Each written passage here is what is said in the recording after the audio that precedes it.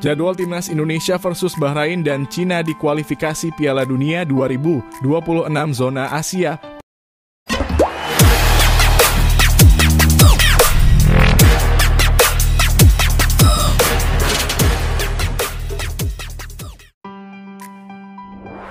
Jadwal timnas Indonesia versus Bahrain dan Cina di kualifikasi Piala Dunia 2026 zona Asia pada Oktober 2024.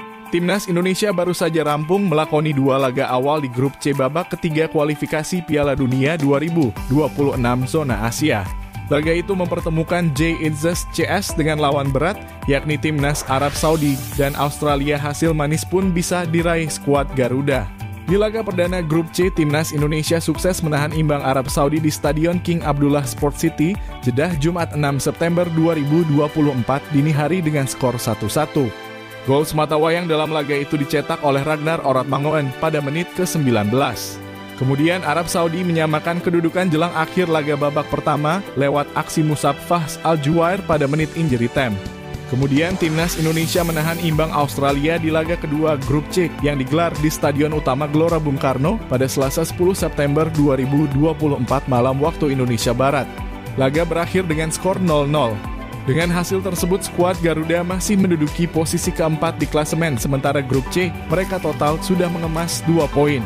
Timnas Indonesia pun akan melanjutkan perjalanannya di babak ketiga kualifikasi Piala Dunia 2026 zona Asia pada Oktober 2024. Bulan depan, Ma Arten Pais CS dijadwalkan bertandang ke markas Timnas Bahrain dan juga Cina.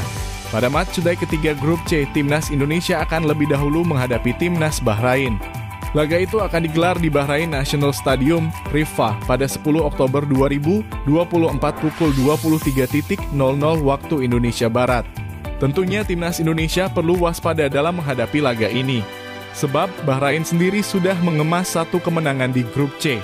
Mereka secara tak terduga bisa mengalahkan Australia dengan skor 1-0 di laga perdana grup C. Tetapi di laga kedua Bahrain kalah telak dari Jepang. Mereka dibantai dengan skor 0-5.